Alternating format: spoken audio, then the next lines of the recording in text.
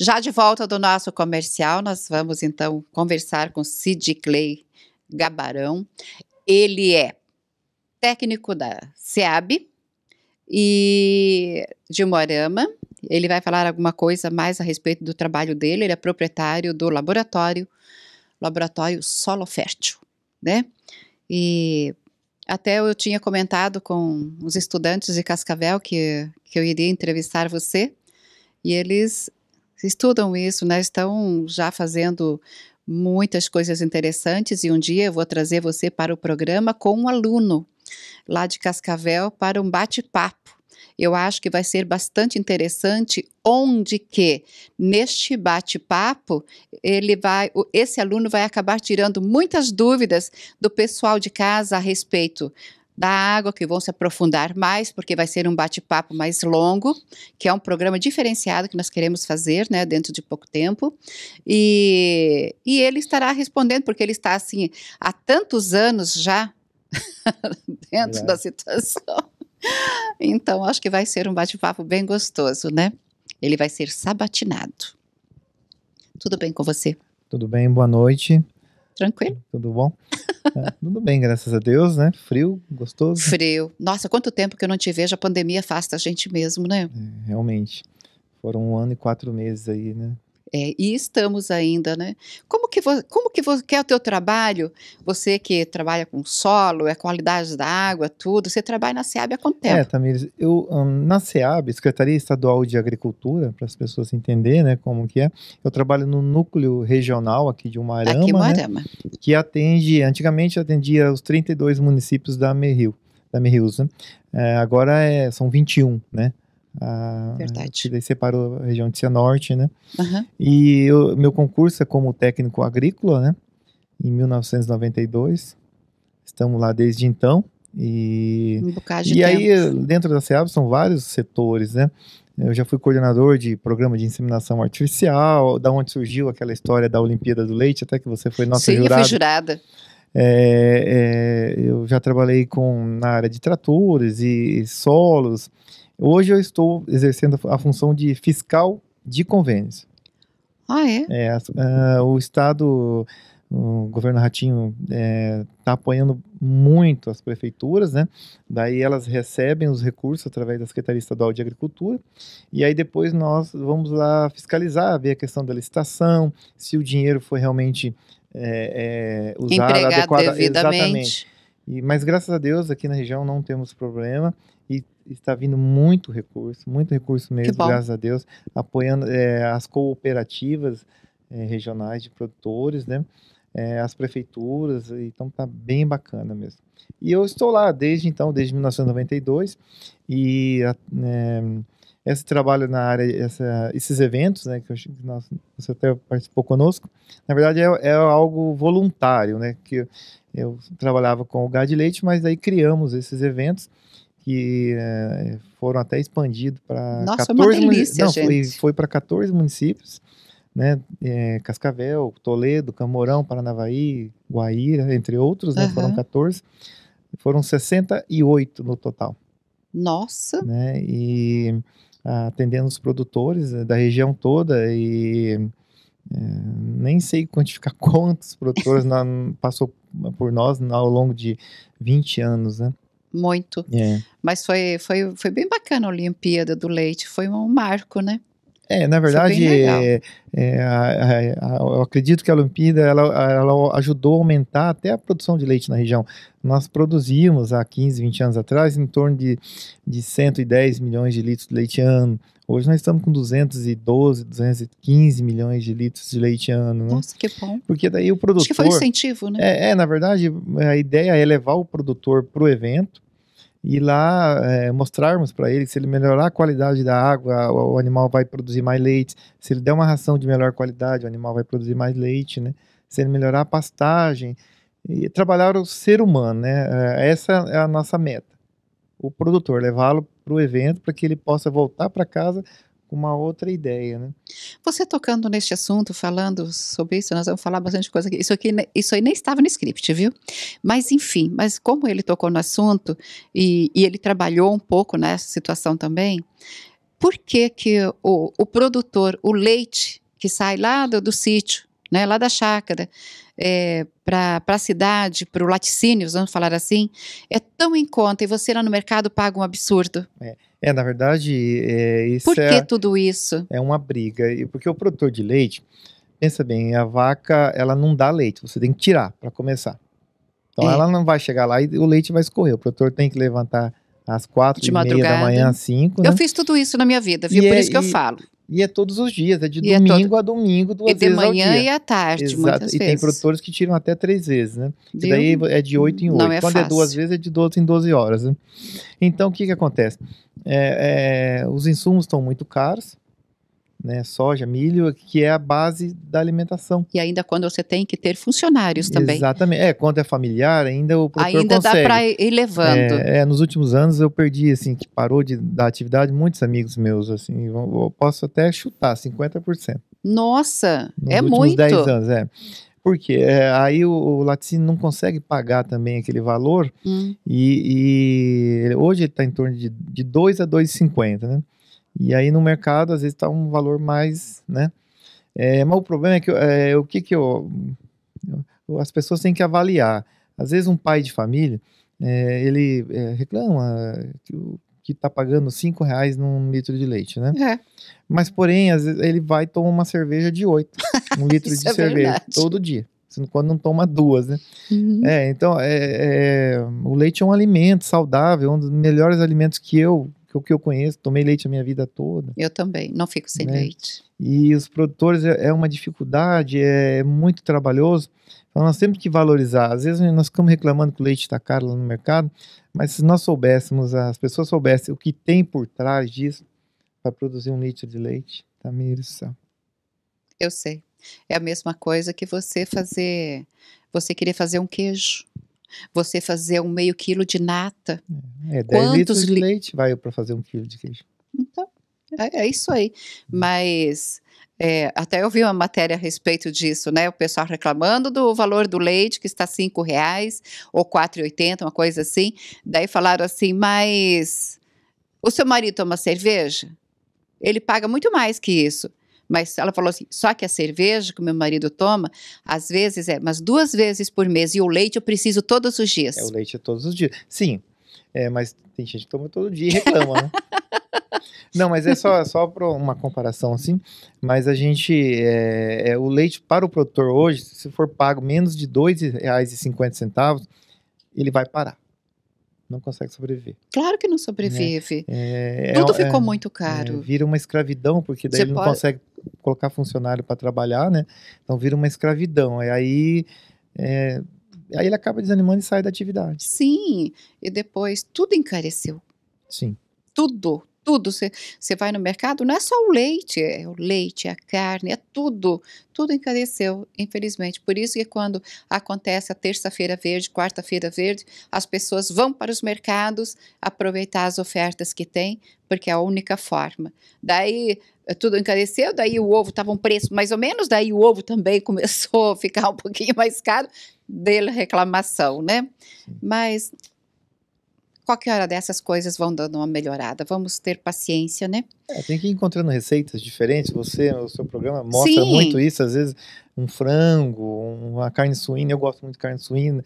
Aí eu, eu, eu, eu vou pesquisando, eu já vi isso no seu programa também algumas receitas. Então a gente tem que ir reinventando as coisas. É, no, no, programa a gente nunca faz aquelas receitas caras, de jeito Sim. nenhum. Sempre aquela receita simples e saborosa que dá para fazer em casa né? O pessoal lá de Chambré, nossa, o pessoal de Chambré, eu acho que, já acho que todos eles já, já anotaram todas as receitas do programa da Tamires, né? Mas isso é muito bom. Falar em receita, até nós estávamos saindo para fazer a matéria ontem, eu com a equipe, e uma mulher me ligou de Juara, Mato Grosso, porque ela queria as receitas da Tamires também, né? Então, daí às vezes fica difícil a gente mandar muita coisa, porque também o tempo da gente é curto.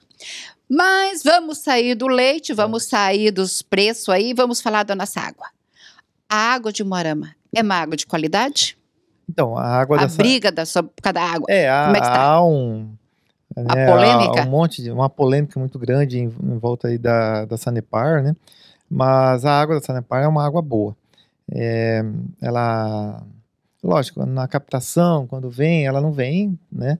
Mas depois que eles mandam para as casas das pessoas, a água é boa. Eles têm um ótimo tratamento da água. É, Utiliza-se cloro. Você, e o cloro, ele é importante. Para você ter uma ideia, Tamires, o cloro, nos últimos mil anos, é, ele é considerado é, uma das 100 fatos mais importantes que, que mudou nos últimos mil anos.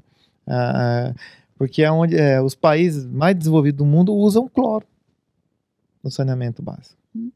Entendeu? É, teve um país da, uh, que deixou de usar cloro, acho que foi em 1991, foi o Peru. E aí é, pararam de utilizar, né? E o que aconteceu? Cólera.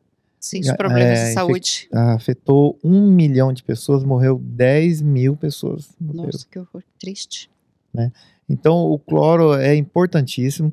É, o que, é, às vezes você recebe o, a tua água lá com cloro, porque tem que ser, pelo Ministério da Saúde, ele tem que vir de 0,2 miligramas por litro até 5, né? Lógico, às vezes pode sair com um pouco mais, mas vai chegar na tua torneira, porque o cloro é volátil, né?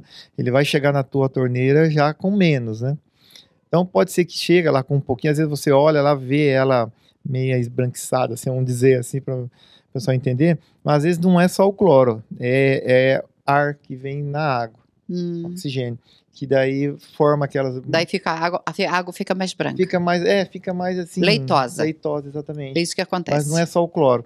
Então é uma água boa. Há, há um processo de em volta ali do rio, onde a captação de curva de nível, de contenção de águas, né? É, reflorestamento, é, mata ciliar, feito pela Secretaria Municipal de Agricultura, é, acompanhado pelo Instituto Água e Terra agora né, também, né? Então, é, a água é boa, as pessoas podem confiar, eu tomo. O que eu acho, Tamires, que, que cada morador deve fazer, eu tenho em casa um filtro de barro. Não precisa ser o filtro de barro. Pode ser um outro filtro que você coloque na torneira, né? Você utilizar o filtro, por quê? Que daí eles vão colocar cloro lá na saída da, da água que vai para sua casa. Quando chegar na tua casa, você vai ter um filtro que vai eliminar o cloro. Hum. Então, praticamente, você vai estar tomando uma água de um poço artesiano. Assim, e o né? filtro né? elimina todas elimina. as impurezas da água? Elimina. Elimina? Elimina. Se tiver metais, ele vai eliminar também. Então. É, porque o cloro, o cloro não é para eliminar metal, nada. O cloro é para eliminar os coliformes é, fecal e total, que é umas as bactérias que é, estão presentes na água. É, você jogou o cloro, eliminou as bactérias. Mas se tiver um metal ou outra coisa, ele vai, aí o filtro vai reter isso daí, entendeu? teve assim uma semana praticamente a água muito amarela. Amarela mesmo. E o que que é isso? Tá. É, se for água. É muito branco ou muito amarelo? Não, é, é, se for água, às vezes, numa captação igual é rio, pode ser pós-período chuvoso, né? Também. Depende um período chuvoso uhum. aí, né? Aí a água corre, vem água das propriedades, leva que às vezes não tem água, que, propriedade que não tem curva de nível e tal, leva, né? é, um pouco de areia para o rio. É, mas se for poço artesiano e você reparar lá na tua casa que manchou ali a, o vaso sanitário, ficou, ficou, todo mundo tem um, algum vaso que fica com vazamento. Ficou aquele risco a, a amarelo. Se for amarelo, é. Chumbo? É, não, ferro. Ferro. É, presença de ferro. Se ficar mais é, esverdeada, puxando para o preto assim, é manganês. São metais pesados que é prejudicial à saúde humana, né? Então você tem que eliminar isso aí através de filtro, tá? Então, mesmo sendo poço artesiano, a, no prédio, a vigilância sanitária, ela, é, ela orienta e exige que, seja, que tenha o cloro. Porque o cloro é o básico para você desinfetar a tua água, né? Se tiver metais pesados, aí você, que é o caso de ferro, cobre, entre outros, aí você usa o filtro, né? Então, tá bom. Então, esta é a dica para vocês, né? Compre um filtro, se vocês puderem, junta um dinheirinho e compre. Você... É, os vasos sanitários ficam lá pingando só para, desculpa, Não, é, tudo bem. Só, é, às vezes a pessoa deixa lá o vaso tem que sempre procurar um profissional que arruma Sim. ali, né? Que é um vaso ali pingando Arrumar diariamente, hidro, né? Ali a descarga para não ficar vazando são água. 48 litros por dia. Desperdício. Desperdício. 1.388 litros por mês. Nossa. E vai vir na conta. E que vem na sua conta. Né? E é verdade. E, e que não está muito em conta.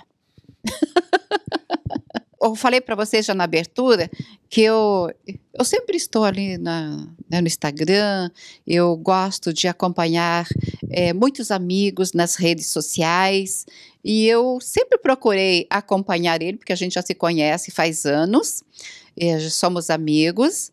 E quando eu observei assim que ele estava num dia num lugar, outro no outro, falei assim: esse meu amigo está saindo candidato, eu acho.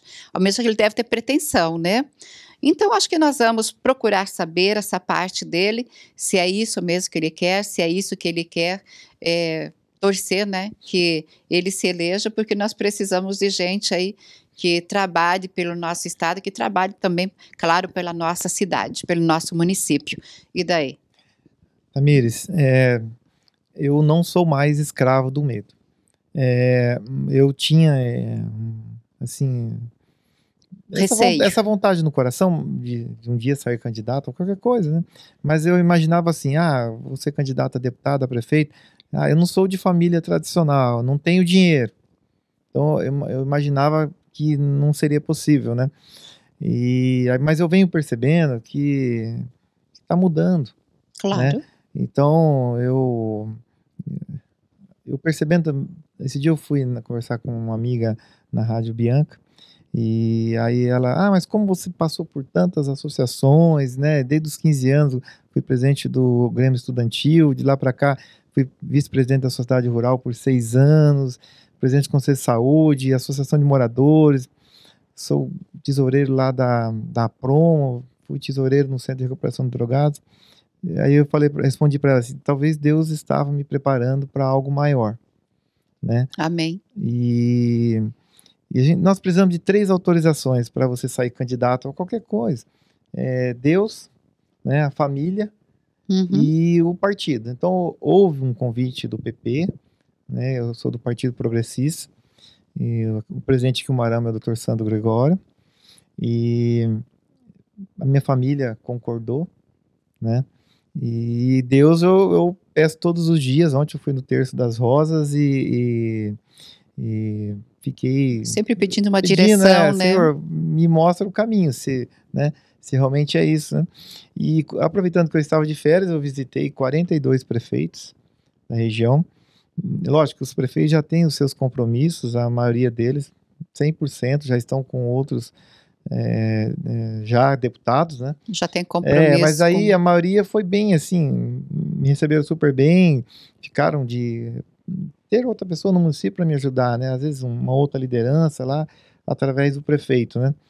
E eu acredito que o delegado Fernando vem fazendo um bom trabalho em Maram e eu acho que dá para ter mais um ou dois claro. deputados aqui em Maram. Claro. A região toda tem 300 mil pessoas, né? Então, acredito que dá para fazer mais um deputado e vou trabalhar até o ano que vem para ver se a gente consegue. Então você está afim mesmo. Sim, não, definir. é, eu acho que, a não ser que lá na frente o partido fale, não, não vai ser você, vai ser outro, né? Mas eu eu tô animado e é, eu, sabe, Tamires, eu queria é, é, você ir dormir, sabia que naquele dia outras pessoas é, respirou, dormiu melhor também porque você existe, né? Então, é, nós precisamos dar a nossa parcela de contribuição né? E porque você vai ficar, ah, eu não tenho problema, não tenho nada. Tudo bem, beleza, vai passar a tua vida, né? Mas eu tenho um amigo, eu considero ele como um segundo pai, assim, que é o senhor João Sala, ali da Autorama. Ele sempre falou para mim, Sid Clay, você tem que ir embora desse mundo e deixar um rastro de pneu de trator, não pode ser de bicicleta, né? E então é isso, isso, eu quero é, fazer mais pelas pessoas, pela região noroeste aqui em si, né? mais pelas pessoas de Umarama. É, Umarama, pessoa de, as pessoas são trabalhadoras, é um lugar de gente feliz, né? É, gente amiga, né? O nome acho que já lembra um pouco. E eu quero isso, buscar isso daí e é, tentar fazer sempre algo de melhor para Umarama e região. Para a população, né? Porque precisa mesmo, né? Sempre precisa, eu acho que comporta tranquilamente dois. Sim, né? sim. O... E por que não a gente está pensando nisso, né? É melhor para a nossa cidade. E outra, o Maramense, é, nós precisamos recuperar urgente a vaga do, de federal também, que quando nós perdemos com o doutor Osmar Serrado. Exatamente. Foi uma pena, Uma pena. sabe? Eu acho que nós temos que urgentemente vo- votar em candidatos aqui de Umarama para que nós tenhamos novamente essa vaga lá, na, esse deputado federal. Nós precisamos ter um deputado federal aqui na região, né? E, e para estadual, acredito que tem, tem mais espaço, né? E já pensou, dois, né? nós já tivemos, lembra? Acho que foi o, o Fernandes Canavaco, o Nelson, o doutor Osmar e o Zeca. O Zeca Dois Dirceu. federal e dois estadual. Verdade, verdade. Você vai sair federal ou estadual? Estadual. Estadual. É, é, estadual. O doutor Fernando é estadual. Estadual também. Tá Uhum. fazendo um bom trabalho, vem fazendo um sim, bom trabalho. sim, né? sim, sim. Cada um faz a sua parte, né? Claro. né? E tem espaço para mais gente, Tem na sim. verdade? É, e ter coragem, né? É, na verdade, eu eu saio de casa todos os dias e principalmente esses dias que eu estava visitando os municípios, foram 42. Então é uma montanha russa de emoções, né? Tem lugar que você vai bem, tem lugar que não, e eu bem recebido, outro não. Mas eh, eu tô feliz com a receptividade. Hoje eu tive conversando com alguns E conhecendo algumas mais pessoas, pessoas. é. Hoje eu estive com algumas pessoas mais velhas do nosso partido, que é o PP, né? E as pessoas estão me, me encorajando, né? Não, vamos, tem que ter gente nova e vamos tentar mudar isso, né? Lógico, daí eu tenho e tem pessoas que eu consulto, que é o caso do João Sala que eu te falei mesmo. né? Sim, Então é, a gente tem que ter essas pessoas mais velhas é, para a gente contar com a experiência deles, né? Eu não sou tão novinho, né? eu tenho 48 anos, mas é, é, eu, é, eu gosto de conversar com as pessoas mais velhas, porque elas falam como elas foi têm lá. muito mais Muito- experiência Não, que a ó, gente. lá no passado foi assim, uma pessoa fez isso, não deu certo. Tenta dessa forma, quem sabe? Então, Exatamente. é, eu e estou procurando fazer alianças, né? É, você precisa e não é não é fácil. Tem que fazer alianças, é, acordo com um, acordo com o outro, né? E tem muito ego envolvido, né? Dentro do, do próprio partido também, mas o PP está bem bacana, assim, estamos trabalhando legal. Tem dois vereadores, que é o vereador Sorrisal e o ve- vereador Clebão, estão fazendo excelente trabalho, né? No grupo nosso da campanha para prefeito, que foi o doutor Sandro, né? Nós tivemos mais o Matheus Ba- Barretos e a, a Ana também, que foi, foi eleita, né? Nossa Verdade. vereadora Ana Novaes, excelente Hum, vereadora, mais abraço, votada. Ana. né? E abraço também para o nosso vereador, vereador do povo, né? Que já veio no programa também. Prometeu vir cozinhar, agora estou esperando. Sorrisal, ele, ele, ele, ele- algum, algumas das visitas ele foi comigo na região, é meu amigo também, já foi em casa cozinhar. ele falou que sabia cozinhar, mas chegou lá e não cortou nem a cebola direito. Ih, agora eu perdi a fé. Mas mesmo assim, você pode vir. Fica do meu lado e eu vou fazendo a comida e a gente vai conversando, então. tá, tá garantido o prato. Isso aí. E você, onde vai? Você cozinha também? Olha, eu adoro cozinhar. E... Você cozinha de tudo ou você gosta do boião, como dizem? É frango Não, eu- caipira, polenta, arroz, eu- eu faço. feijoada. Não, eu faço todas essas daí também. E, e eu mandei construir um fogão a lenha em casa. E aí eu adoro cozinhar. E, mas eu sou fã desses programas de Masterchef. Eu gosto também. É, eu assisto todos. E aí eu- ali eu vou anotando as receitas e faço em casa também. E dá certo? Às Faz- vezes, qua- ah, 50%. É, mas aí eu gosto de também des- desenvolver algumas. Uns pratos carne diferentes. de panela que eu faço, que eu desenvolvi, Suína ou bovina? bovina. E aí você come com pão caseiro, sabe? Ai, Corta uma fatia bem assim do pão nessas caseiro. e horas, joga gente, falar de comida, eu já tô com fome. Boca encheu de água. Mas vamos fazer o seguinte, vamos combinar. Quando o teu, fo- teu fogão lá estiver pronto, daí você chama a gente lá, que nós vamos lá, então, registrar essa culinária tua. Então tá lá à sua disposição, tá pronto já. A hora que você tiver um tempo e cer- estiver aí, Eu tô fazendo cerveja. Vai um dia que a cerveja esteja lá no meu fermentador, que daí você já pode tirar como é que é o direto da nome da fonte. cerveja? Rei Arthur? Então, eu. É o nome do filho dele. ah, me falaram que para tirar um pouco o estresse tem que fazer cerveja. E aí, aí eu inventei de fazer cerveja. Quando termina de fazer a Aí, cerveja, já é. tá bêbado. Aí eu comprei um fermentador e uma panela de 100 litros, né? Eu Ah. consigo fazer 100 litros por vez. Ah, E aí o meu filho chama Arthur, daí o nome da cerveja ficou Rei Arthur. E eu fiz uma, a última que eu fiz foi uma, uma Lager, ela é um pouco mais forte do que a, a Pilsen, né? Mas é uma cerveja muito gostosa e o dia que você for, você vai é pro provar. consumo da família. Minha. É que daí a, a minha esposa não bebe, o meu, meu menino também não, lógico. Já fez algum frango com cerveja? Já, já. Que delícia, né? É, eu gosto de fazer fraldinha também na panela com cerveja preta também. Também gosto. Fica muito bom. Fica, fica uma delícia. A cerveja dá para fazer várias culinárias com ela. Sim, é, eu uso para temperar normal carne também, uso vou fazer uma costela, eu tempero, eu passo ela antes para depois passar o sal também, fica é, bom. Fica uma delícia. É, qualquer hora dessa a gente estará cozinhando com ele, vamos ver mesmo, né? Se ele não é igual o Sarrizal, por exemplo, que fala que cozinha, cozinha, que faz pratos maravilhosos e não sabe nem cortar uma cebola. Hum. Não, mas nós somos no, no Dr. Sandro esse dia jogar um truco.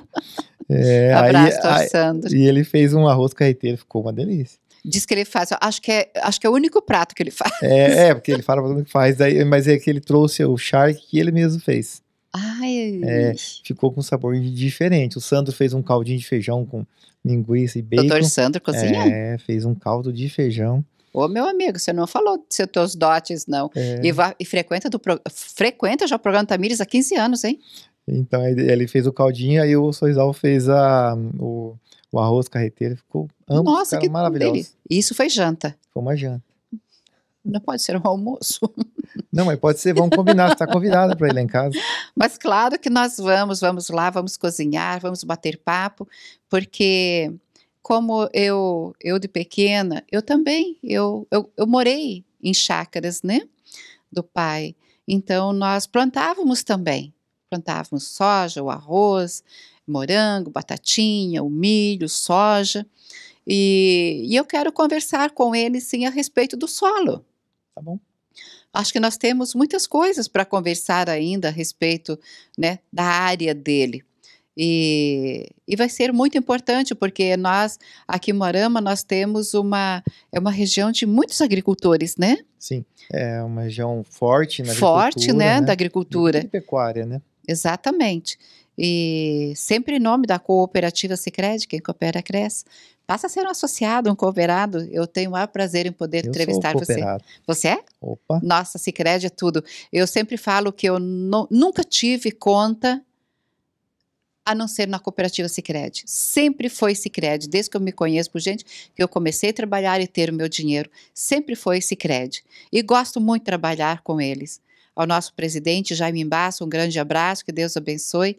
Ele me ligou ontem, parabenizando pelo meu aniversário, ele me ligou cedinho. Nunca esquece, é uma pessoa muito importante. Um abraço para o senhor, que Deus abençoe grandemente. E logo, logo o presidente estará no programa também para falarmos a respeito de muitos assuntos da nossa cooperativa. Que a nossa cooperativa, mesmo com a pandemia, ela está crescendo bastante e os resultados são excelentes. Então, fique sempre antenados, vocês associados, e se você não é associado, se associa, vale a pena. É bom se associar a uma cooperativa.